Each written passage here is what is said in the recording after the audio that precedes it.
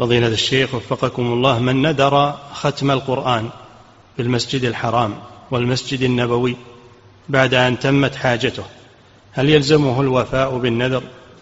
وماذا يفعل إذا لم يوف بنذره؟